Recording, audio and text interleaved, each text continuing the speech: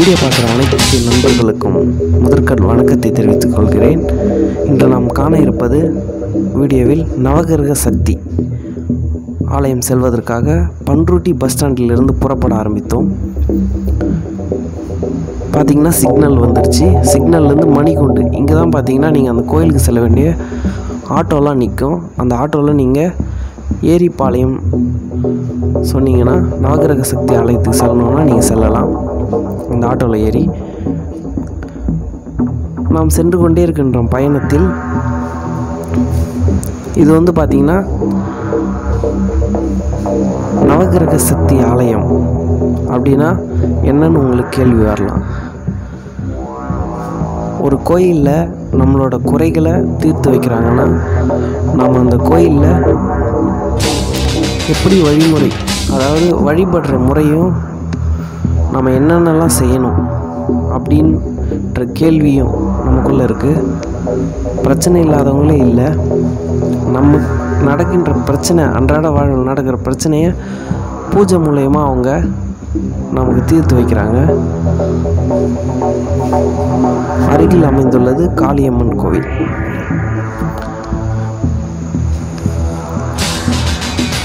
அந்த பூஜை முறைகள்லாம் நம்ம எப்படின்னு நம்ம தெரிஞ்சுக்கிறதுக்காக நம்ம ஒரு இன்ட்ரெஸ்ட்டாக அந்த வீடியோ எடுத்துக்கிட்டு நாம் சென்று கொண்டிருக்கின்றோம். பண்ருட்டியிலேருந்து பார்த்தீங்கன்னா ஒரு ஏழு கிலோமீட்டர் அமைந்துள்ள இந்த நவகிரக சக்தி. அந்த பூசாரியை நமக்கு காண்பதற்காகவும் கோயிலில் நடக்கிற பூஜையை முறைகளையும் தெரிஞ்சுக்கிறதுக்காக நம்ம சென்று கொண்டே இருக்கின்றோம். இந்த ரோடு பார்த்தீங்கன்னா சேலம் மெயின் ரோடு நாம் பெட்ரோல் பங்க்லேருந்து சென்று கொண்டிருக்கின்றோம். நீங்கள் அந்த கோயிலுக்கு வர்றவங்க நம்ம இப்போ இந்த வீடியோவில் காட்டின ரூட் படியே வந்துக்கலாம்.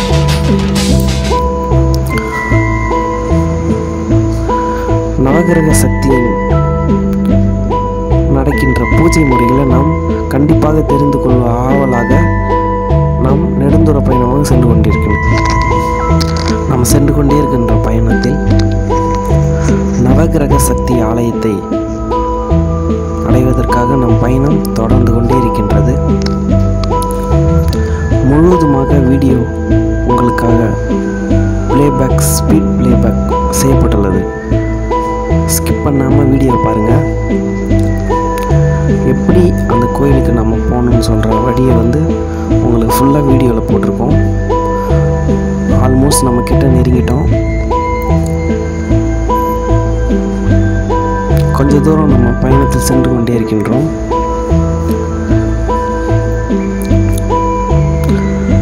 இந்த லெஃப்ட் சைட் திரும்பிக்க வேண்டியதான் நீங்கள் இதுதான் அந்த சக் நவகிரக சக்தி ஆலயத்துக்கு செய்ய வேண்டிய வழி.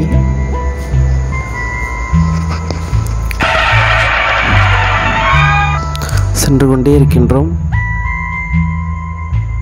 ஏரிப்பாளையம் நம்ம வந்தாச்சு. அந்த கோயிலுக்கு நம்ம போக வேண்டிய தருணம் வந்துருச்சு.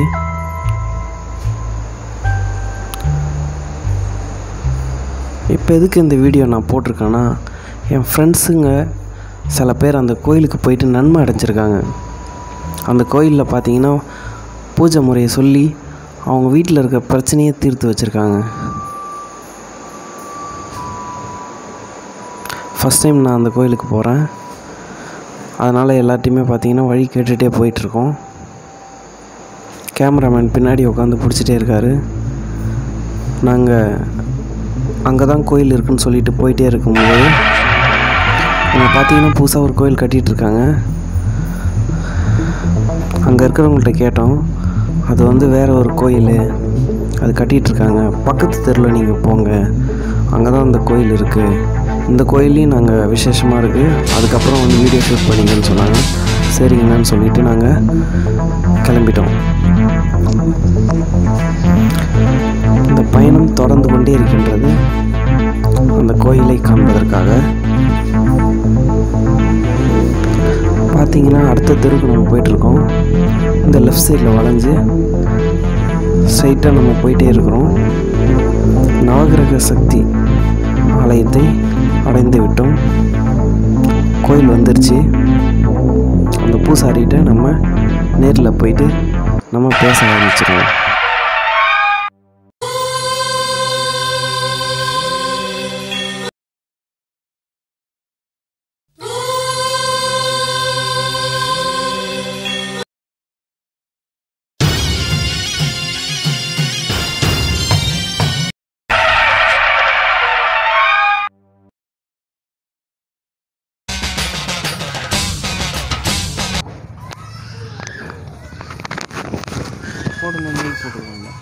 பேசிக்க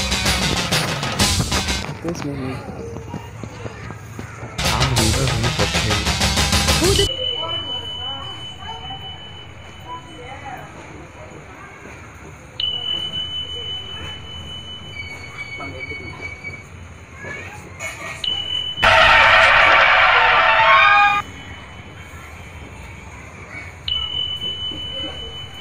இடம் என்ன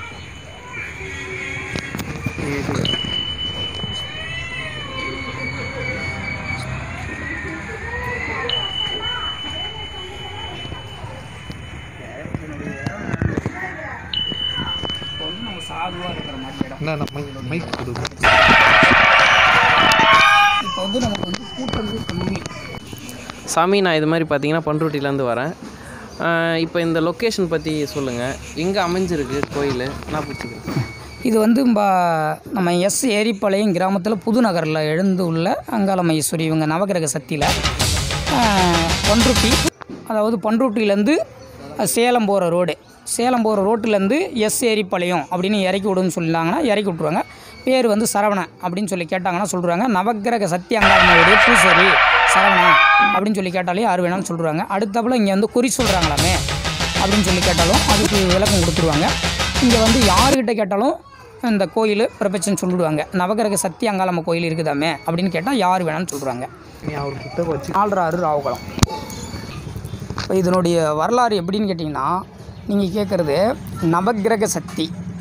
இதனுடைய ஆலயத்துடைய நவக்கிரக சக்தி மூலிமா ராகு காலத்து பூஜை நம்ம நடத்தி தரோம். ராகுகாலத்து பூஜை நடத்தி தரோம்னு சொன்னால் இந்த ராகு காலத்தில் திருமண தடைக்கு திருமண தடைக்கு நம்ம இந்த ராகு காலத்தில் மூணு எண்ணெய் சேர்த்து ராகு காலத்து பூஜையில் நல்லெண்ணெய் விளக்கெண்ணெய் தேங்காய் எண்ணெய். இதை கலந்து நம்ம இங்கே விளக்கு போடும்போது அவரவர் உள்ள குறைபாட்டை நீக்கி நாம் செய்து கொண்டு கொடுக்குறோம். இது இல்லாமல் ஒம்பது வாரம் ஞாயிற்றுக்கிழமை ராகு காலத்தில் இந்த பூஜையில் நம்ம வந்து கலந்துக்கணும். இதை கலந்துக்கும் போது அவர் ஒரு குறைபாடு இயற்கையாகவே நடக்கும். இல்லையா? நான் பல இடம் போனேன் பல கோயில் போனேன் எனக்கு இது தீரலை அப்படின்னு சொன்னீங்கன்னா திருமணம் சரி எல்லா இடத்துக்கும் போய் வந்தேன் எனக்கு முடியல அப்படின்னு சொன்னீங்கன்னா நாகம் வெள்ளியில் நாகமும் அதாவது வளையல் மஞ்சக்கவுறு மஞ்சள் மஞ்சத்தூள் குங்குமம் ஒரு ஜாக்கெட் பிட்டு ஒரு துண்டு இந்த பொருள் வச்சு ஒரு தேங்காய் ஏழு முழம் பூவு. இதை வச்சு நம்ம ஒரு சடங்கு செய்யக்கூடிய பரிகாரங்கள். இது வந்து இந்த புத்துல செய்யக்கூடியது.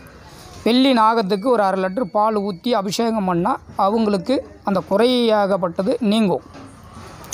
அப்போ நீங்கிடுச்சு அப்படின்னு சொல்லும் போது அவங்க திருமண தடைகள் நீக்கி தருவக்கூடிய வாய்ப்பு உண்டு யார் வேணாலும் இந்த தோஷங்கள் இங்கே வந்து நம்ம செய்து கொண்டு இருக்கிறோம் அது யார் வேணாலும் கலந்துக்கலாம். அதனால் இந்த குழந்த பாக்கியம் இல்லாதவங்கெல்லாம் இந்த இடத்துக்கு வரும்போது உள்ளுக்கு மருந்து கொடுக்குறோம். பல நாளாக பல வருஷங்களாக இருக்கிறவங்களுக்கு அதை வந்து நம்ம மருந்துன்றது மூலிகை. மூலிகைனா பல இடத்துல போய் தேடி கொண்டாந்து கொடுக்குற பொருள் இல்லை. இந்த அம்மாவுடைய பிரசாதம் தான். இந்த பிரசாதம் கொடுக்கும்போது அவங்களுக்கு நம்ம உள்ளு கொடுத்து ஒரு மூன்று மாதம் நம்ம கெடு கொடுக்குறோம். இந்த மூன்று மாதத்துக்குள்ளே அவங்களுக்கு உத்தரபாக்கியம். அவங்க எந்த விதத்தில் இருந்திருந்தாலும் அதை பற்றி நமக்கு இல்லாது. அப்போ அந்த மூன்று மாதத்தில் அவங்களுக்கு உத்தரபாக்கியம் கிடச்சிருக்குது. பலன் நிறையா பேருக்கு கேட்ட வரன் கிடச்சிருக்குது. இதுக்கு இந்த அம்மாவுடைய அனுகிரகம் நிறையா பேருக்கு கிடச்சிருக்குது. இது கோயில் பேர் வந்து நவக்கிரக சக்தி அங்காளம்மனுடைய ஆலயம்.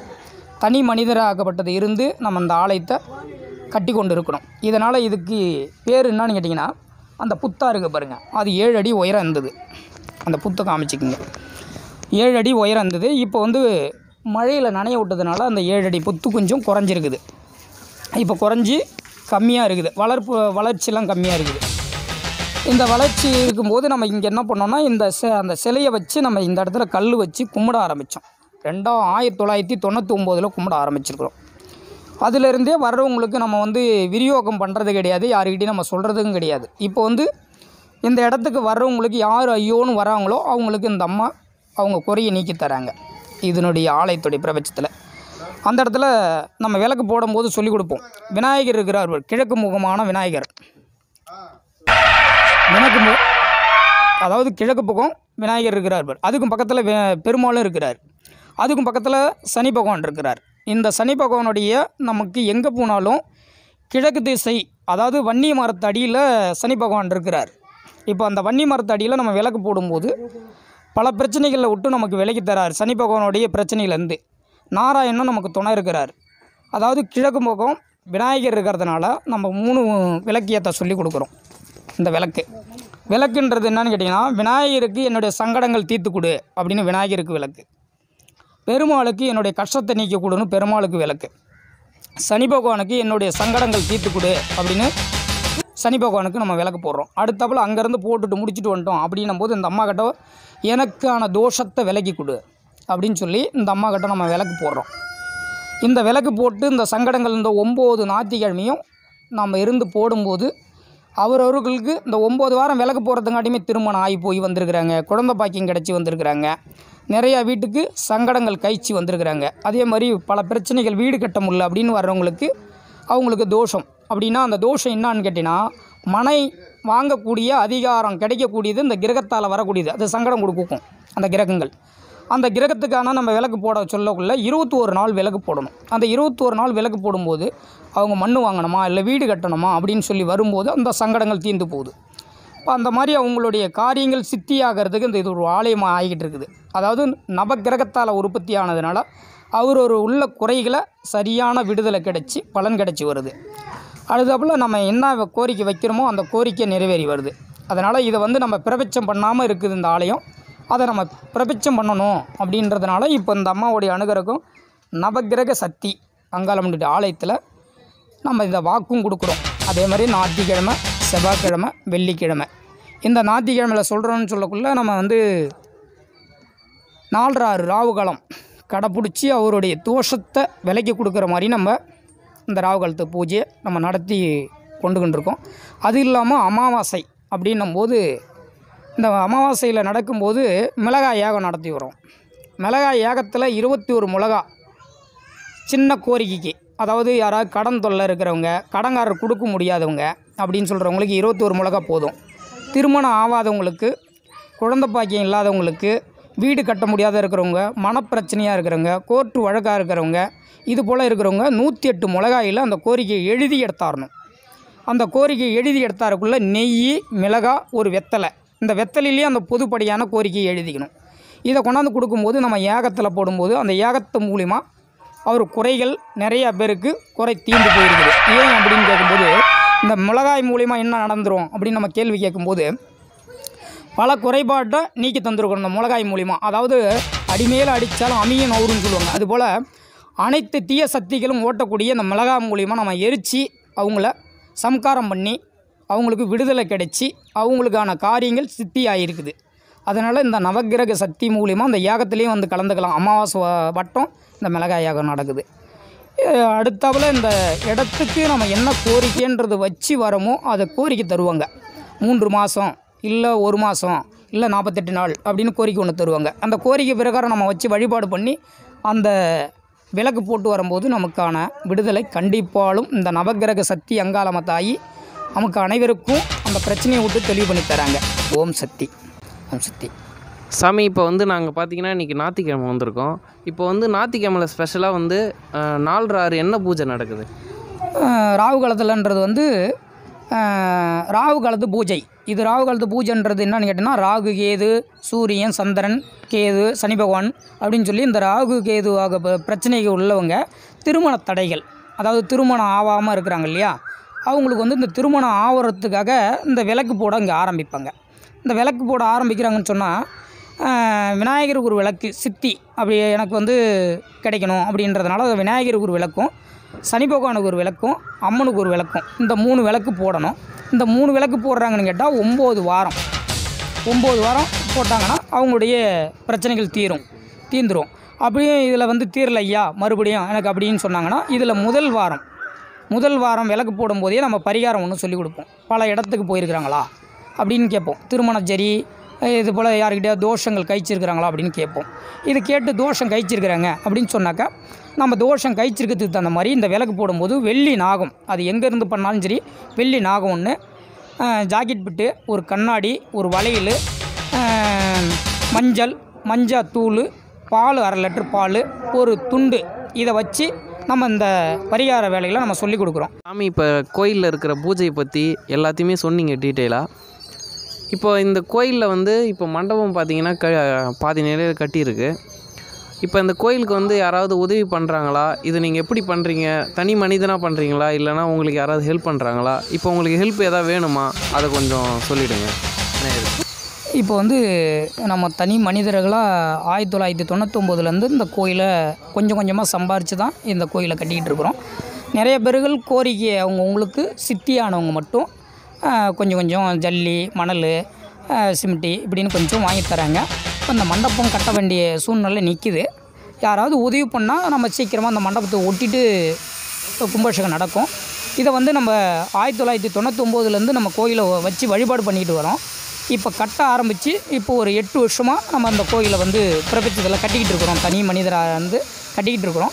நிறைய பேர் அவங்கவுங்க உள்ளவங்க சம்பாரித்து கொஞ்சம் கொஞ்சம் வச்சுருந்தவங்க நிறைவேறினவங்க குழந்த பாக்கியம் கிடைச்சவங்க இந்த மாதிரி உள்ளவங்கள்லாம் வந்து இந்த இடத்துக்கு ஜல்லி வாங்கி கொடுத்தாங்க கம்பி வாங்கி கொடுத்தாங்க இதில் மணல் வாங்கி கொடுத்தாங்க கம்பி வாங்கி கொடுத்தாங்கன்ற மாதிரி எல்லாமே கொஞ்சம் கொஞ்சம் உதவி பண்ணிக்கிட்டு தான் இருக்கிறாங்க. இருந்தாலும் நம்ம இப்போ வந்து மண்டபம் ஒட்டணும் அப்படின்றது ஒரு குறைபாடாக இருக்குது இந்த இடத்துல. வர்றவங்களாம் அதான் கோரிக்கை கேட்டுகிட்டு இருக்காங்க. என்ன சாமி தகரம் போட்டிங்க. இன்னும் கொஞ்சம் குறையாக இருக்குது அப்படிலாம் கேட்குறாங்க நிறைவேறினவங்க கொஞ்சம் கொஞ்சம் செய்கிறாங்க அப்புறம் இந்த மாடெல்லாம் வச்சுக்கிட்டு நம்ம இருக்கிறதுனால வெளியில் ரொம்ப போகலாமல் இருக்கிறோம். போனால் எல்லாமே செஞ்சு கொடுப்பாங்க. அதனால் இப்போ வந்து யாராவது உதவிகள் பண்ணணும்னா இந்த மண்டபம் ஒட்ட வேண்டியது இருக்குது. இந்த மண்டபத்துக்கு யார் வேணாலும் உதவி பண்ணலாம். அவருக்கு உள்ள குறைபாட்டை நம்ம தெளிவு பண்ணி அவங்களுக்கு முடிச்சும் கொடுக்குறோன்றது வாக்கு அந்த அம்மாவுடைய அணுகிறக்கு பிரகாரம் கொடுக்குறோம் நம்ம. யார் வேணாலும் உதவி பண்ணலாம். சரி. ரொம்ப நன்றி சாமி. சாமி நல்லது. அவ்வளோதான் இவ்வளோ நேரம் பார்த்தீங்கன்னா நம்ம சாமி வந்து சொன்னாங்க நிறை குறை எல்லாத்தையுமே சொன்னாங்க. உங்களால் முடிஞ்ச உதவியை இந்த கோயிலுக்கு வந்து நீங்கள் கண்டிப்பாக ஹெல்ப் பண்ணணும்னு நம்ம இந்த வீடியோ பார்த்துட்டு நிறைய பேர் ஹெல்ப் பண்ணணும்னு நினைக்கிறீங்கன்னா இவரோட காண்டாக்ட் நம்பர் வந்து நான் இந்த வீடியோவில் போடுறேன். நீங்கள் இந்த கோயிலுக்கு உதவி பண்ணுவீங்கன்னு நம்புகிறேன் இந்த வீடியோ பார்த்துட்டு நன்றி வணக்கம்.